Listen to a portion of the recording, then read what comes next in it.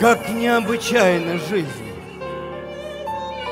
без прошлого. С опасностью, но без раскаяния и воспоминаний.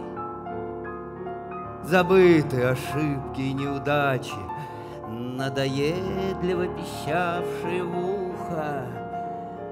Мы уподобляемся ныне чистому зеркалу или богатому водовместилищу, где в чистом гроте беззаботные золотые рыбки виляют хвостами, как турки благодарящие.